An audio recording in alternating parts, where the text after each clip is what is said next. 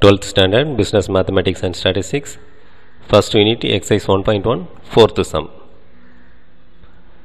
show that the equations இங்கே ஒரு மூணு equations கொடுத்துருக்காங்க consistent and solve them by rank method so show that அப்படின்னா நம்ம ப்ரூவ் பண்ணணும் கன்சிஸ்டன்ட் அப்படின்னு ப்ரூவ் பண்ணணும் solve them by rank method solve அப்படின்னா எக்ஸ் ஒய் இசட் வேல்யூவை கால்குலேட் பண்ணணும் solution first AX equal to B அப்படின்ற ஃபார்மில் கொடுத்துருக்க ஈக்குவேஷனை எழுதணும்.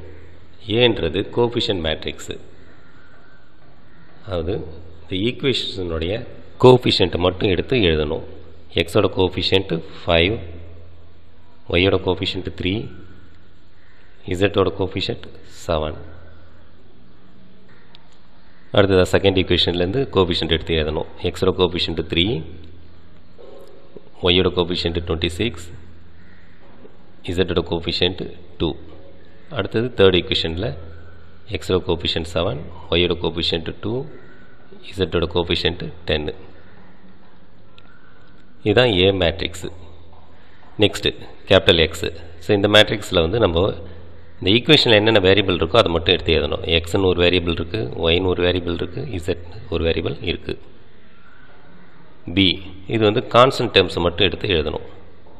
ஸோ இந்த மேட்ரிக்ஸில் ஃபஸ்ட்டு ஈக்குவேஷனுடைய கான்ஸ்டன்ட் டேர்ம் நான் four second equation constant term nine third equation constant term five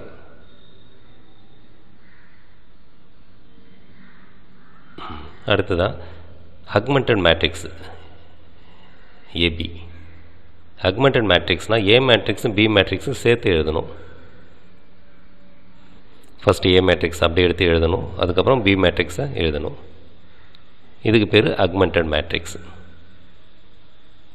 இதனுடைய ஆர்டர் த்ரீ பை ஃபோர் மேட்ரிக்ஸினுடைய ஆர்டர் வந்து த்ரீ பை ஃபோர் அதாவது த்ரீ ரோ ஃபோர் காலம்ஸ் இருக்குது இதில். இப்போ இந்த மேட்ரிக்ஸை எலமெண்ட்மெண்ட் எலமெண்ட்ரி டிரான்ஸ்ஃபர்மேஷன் மெத்தடை யூஸ் பண்ணி எக்லான் ஃபார்முக்கு கொண்டு வரணும். எலமெண்ட்ரி டிரான்ஸ்ஃபர்மேஷன் ரூலை யூஸ் பண்ணி எக்லான் ஃபார்முக்கு கொண்டு வரணும். ஸோ ஃபஸ்ட்டு ரோவை அப்படியே எடுத்து எழுதிக்கலாம். Five three seven four next இந்த second row first element zero ஆக்கணும். So R two gives so second ரோவை ஃபைவால் மல்டிப்ளை பண்ணி ஃபஸ்ட் ரோ த்ரீயால் மல்டிப்ளை பண்ணி சப்ராக்ட் பண்ணோம்னா நம்மளுக்கு second row first element zero கிடச்சிரும். அதாவது ஆர் டூ அதாவது five R two minus three R one so இந்த கால்குலேஷன் நீங்கள் போட்டு காமிக்கிறேன். ஆர் டூ வந்து ஃபைவால் மல்டிப்ளை பண்ணணும். So five into three fifteen five into twenty six one thirty five into two ten nine into five forty five next R one row அதில் இருக்கிற எல்லா எலமெண்ட்டையும் த்ரீயால் மல்டிப்ளை பண்ணணும். So three into five fifteen three three are nine seven into three twenty one four into three twelve இப்போ இங்கே minus இருக்கிறதுனால இங்கே ப்ளஸ் எல்லாம் வந்து மைனஸாக மாற்றணும் அப்போ ஃபிஃப்டீன் மைனஸ் ஃபிஃப்டீன் வந்து ஜீரோ ஆகிடுது ஒன் தேர்ட்டியில் மைனஸ் நைன் போச்சு அப்படின்னா ஒன் டுவெண்ட்டி ஒன் டெனில் மைனஸ் டுவெண்ட்டி ஒன் போச்சுன்னா லெவன் ஃபார்ட்டி ஃபைவ்ல மைனஸ் டுவெல் போயிடுச்சுன்னா தேர்ட்டி த்ரீ ஸோ இந்த வேல்யூஸ் அப்படியே எடுத்து இங்கே எழுதணும். Zero one twenty one minus eleven thirty three next இந்த ஃபஸ்ட்டு எலமெண்ட்டை வந்து தேர்ட் ரோவில் இருக்க ஃபஸ்ட் எலமெண்ட்டை ஜீரோ ஆக்கணும். அப்படின்னா R three gives five R three minus seven R one அதாவது இந்த எலமெண்ட்ஸ் எல்லாத்தையும் ஃபைவால் மல்டிப்ளை பண்ணிவிட்டு ஃபஸ்ட் ரோ எலமெண்ட்டை செவனால் மல்டிப்ளை பண்ணிங்க அப்படின்னா ரெண்டுத்தையும் செப்ரேட் பண்ணால் நம்மளுக்கு வந்து இங்கே ஜீரோ கிடச்சிரும். இந்த கால்குலேஷன் நீங்கள் போட்டு காமிக்கிறேன். ஆர் த்ரீயை ஃபைவால் மல்டிப்ளை பண்ணணும். Seven into five thirty five two into five ten ten into five fifty five into five twenty five seven into R one R one எலமெண்ட்டை ஃபைவால் மல்டிப்ளை பண்ணணும். சாரி செவனால் மல்டிப்ளை பண்ணணும். ஆர் ஒன் எலமெண்ட்டை செவனால் multiply பண்ணணும் seven into five thirty five three into seven twenty one seven sevens are forty nine four into seven twenty eight இங்கே minus இருக்கிறதுனால simple எல்லாத்தையும் மாற்றுறோம் thirty five minus thirty five zero ten minus twenty one minus eleven fifty minus forty nine ஒன்று twenty five minus twenty eight minus three இந்த values அப்படி எடுத்து இங்கே எழுதணும். Zero minus eleven one minus three next first row element அப்படியே எடுத்து எழுதிக்கலாம். இந்த செகண்ட் ரோ எலமெண்ட்ஸை பார்த்தோம்னா இது எல்லாமே வந்து லெவனால் வந்து டிவிசிபிள் ஆகும். இது எல்லாமே டிவிசிபிள் பை லெவன் அப்போது ஜீரோ அப்போ வந்து நம்ம கண்டிஷன்ஸ் எப்படி எழுதலாம்? Elementary transformation rule R two gives one by eleven R two அப்போ எல்லா எலமெண்ட்ஸும் லெவனால் டிவைட் பண்ணணும். Zero divide by eleven zero one twenty one divide by eleven eleven minus eleven divide by eleven minus one thirty three divide by eleven three R three எலமெண்ட்டை அப்படியே எடுத்து எழுதிக்கலாம். Minus eleven one minus three next five three seven four second row எலமெண்ட்டையும் அப்படியே எடுத்து எழுதலாம். R three gives R three plus R two இது ரெண்டுத்தையும் add பண்ணாலும் இது ஜீரோ வந்துடும் இந்த ரோ எலமெண்ட் எல்லாமே ஜீரோ வந்துடும் அப்போ ஜீரோ ப்ளஸ் ஜீரோ ஜீரோ அதாவது R three plus R two R த்ரீயும் ஆர் டூயும் ஆட் பண்ணால் இங்கே ஜீரோ வரும். Minus eleven plus eleven zero one minus one zero minus three plus three zero இப்போ இது வந்து எக்லான் ஃபார்மில் இருக்குது எக்லான் ஃபார்ம் அப்படின்னா இருக்க இருக்க அந்த ஜீரோ எலமெண்ட் வந்து அதிகமாகினே வரணும். இங்கே ஒன்று ஒன்றுமே கிடையாது. ஜீரோவே கிடையாது. இங்கே ஒரு ஜீரோ இருக்குது இங்கே நாலு ஜீரோ இருக்குது ஸோ இதுமாரி வந்து இந்த ஜீரோ எலமெண்ட் இருக்க இருக்க அதிகப்படுத்தினே வர்றதுக்கு பேர் தான் எக்லான் ஃபார்ம் இப்போ இதுலேருந்து நம்ம வந்து ரேங்க் வந்து கால்குலேட் பண்ணி எழுதலாம் ரேங்க் ஆஃப் ஏபி இந்த அக்மெண்ட் மேட்ரிக்ஸுடைய ரேங்க்கு எத்தனை நான் ஜீரோ ரோஸ் இருக்குது அப்படின்னு பார்த்தீங்கன்னா இதில் ஃபஸ்ட் ரோ வேல்யூஸ் இருக்குது இதில் செகண்ட் ரோஸ்லேயும் வேல்யூஸ் இருக்குது இங்கே எல்லாமே ஜீரோ ஆகிடுது அப்போது ரெண்டே ரெண்டு நான் ஜீரோ ரோஸ் தான் இருக்குது அப்போ ரேங்க் வந்து டூ தான். நெக்ஸ்ட்டு ரேங்க் ஏ இந்த ஃபஸ்ட்டு த்ரீ காலம் ஏ மேட்ரிக்ஸ் வந்து சார்ந்தது. உங்களுக்கு தனியாகவே இங்கே வந்து சர்க்கிள் போட்டு காமிச்சிருக்கேன். இப்போ இந்த ஃபஸ்ட்டு த்ரீ காலம் தான் ஏ மேட்ரிக்ஸு இதில் எத்தனை நான் ஜீரோ ரோஸ் அப்படின்னு பார்த்தீங்கன்னா first row second zero second row இதில் எல்லாமே ஜீரோ ஆகிடுச்சு எல்லாமே ஜீரோ ஆனால் தான் நம்ம கன்சிடர் பண்ணக்கூடாது. இங்கே ஒரு ஜீரோ தான் இருக்குது மற்றதெல்லாம் அதர் தென் ஜீரோ எலமெண்ட்டாக இருக்குது அதனால் ஃபஸ்ட் ரோ செகண்ட் ரோ ரெண்டு ரோவை மட்டும்தான் நம்ம கன்சிடர் பண்ணணும். அப்போது நான் ஜீரோ ரோ வந்து இங்கே ரெண்டு. இது எல்லாமே ஜீரோ ஆனதுனால இதை நம்ம கணக்கில் எடுத்துக்கூடாது அப்போ ரேங்க் ஆஃப் ஏ வந்து டூ வருது. Rank of A equal to two next N value என்னன்றது நம்பர் ஆஃப் வேரியபிள் இதில் எத்தனை வேரியபிள்ஸ் இருக்குதுன்னு பார்த்தீங்கன்னா எக்ஸ்னு ஒரு வேரியபிள் இருக்குது ஒயின்னு ஒரு வேரியபிள் இருக்குது இசட்னு ஒரு வேரியபிள் இருக்குது இப்போ டோட்டலாக வந்து மூணு வேரியபிள்ஸ் இருக்குது இப்போ இதுலேருந்து நம்ம கண்டிஷன்ஸ் எப்படி எழுதலாம் அப்படின்னா rank of AB equal to rank of A equal to to less than n இங்கே என்னோட வேல்யூ த்ரீ ரெண்டுமே ஈக்குவலாக இருந்துச்சுன்னா ரேங்க் ஆஃப் ஏபியும் ரேங்க் ஆஃப் ஏயும் ஈக்குவலாக இருந்துச்சுன்னா அது கன்சிஸ்டன்ட் சொல்லிடலாம்.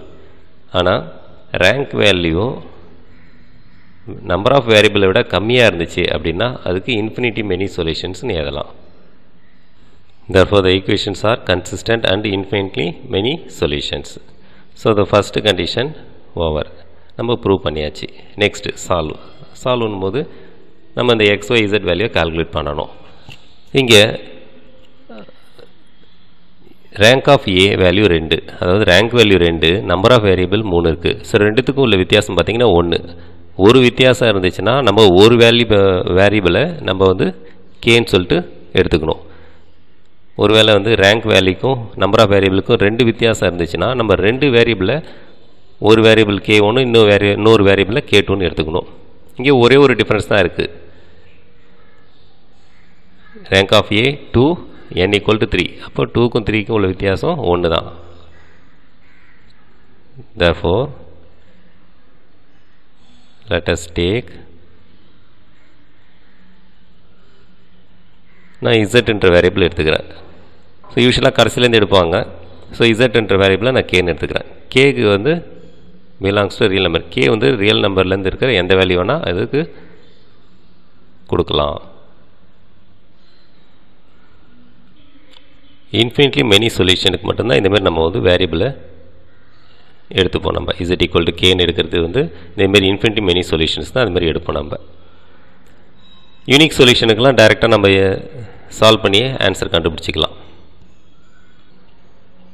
ஸோ இந்த கடைசி மேட்ரிக்ஸில் இந்த ஃபஸ்ட்டு காலம் வந்து எக்ஸ் வேரியபிளை வந்து சார்ந்தது. இது வந்து ஒய் வேரியபிள் இது வந்து இசட் வேரியபிள் ஸோ இதில் கடைசியிலேருந்து நம்ம எழுதணும். இதில் கடைசி ரோவில் எல்லாமே ஜீரோ ஆகிடுச்சு அதனால் இதை விட்டுடலாம். இங்கே ஜீரோ இன்ட்டு இது வந்து x zero into x zero தான். அப்போ அந்த டேர்ம்ஸ் எழுதணும்னு அவசியம் இல்லை. Next eleven into y eleven y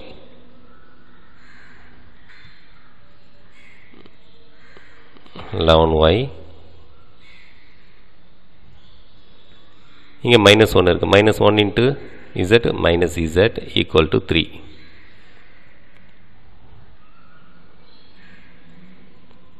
next first ரோலேருந்து நம்ம இன்னொரு ஈக்குவேஷன் எழுதலாம். Five into x plus three into y plus seven into z equal to four இப்போ இசட்டுக்கு பதிலாக நம்ம கேன்ற வேல்யூ இங்கே சப்ஸ்டிட் பண்ணணும்.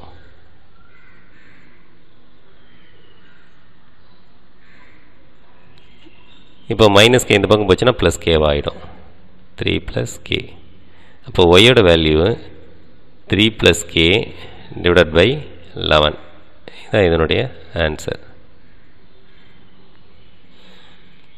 ஸோ இப்போ இந்த ரெண்டு வேல்யூ வந்து இதில் சப்ஸ்டிட் பண்ணணும். Five x plus three into three plus k divided by eleven plus seven k equal to four இப்போ இது ரெண்டுத்துக்கும் எல்சிஎம் எடுப்போம். Five X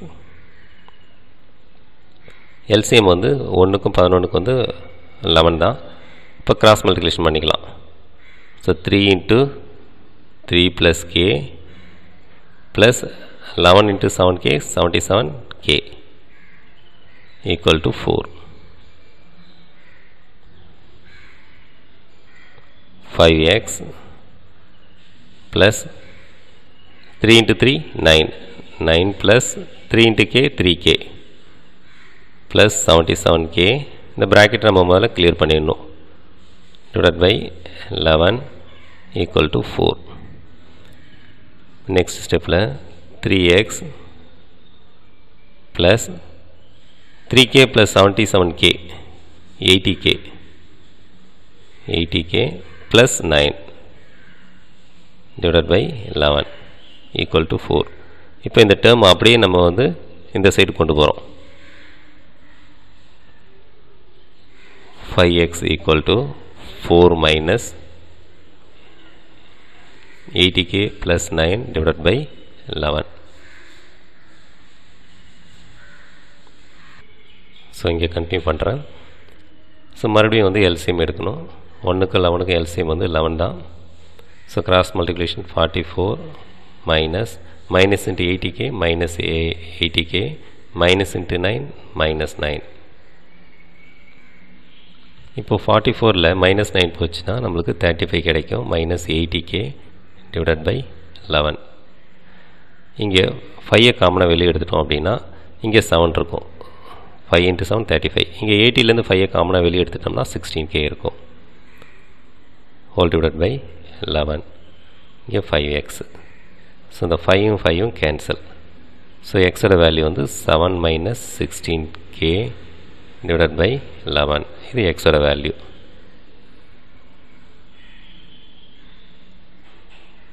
therefore solution equal to x value 7 minus 16k divided by 11 y value 3 plus k divided by 11 z value k where k belongs to real number இப்போ இங்கே k equal to 1 அப்படின்னு சொல்லி நீங்கள் ஒரு value substitute பண்ணிங்கன்னா இவங்க ஒரு solution கிடைக்கும்.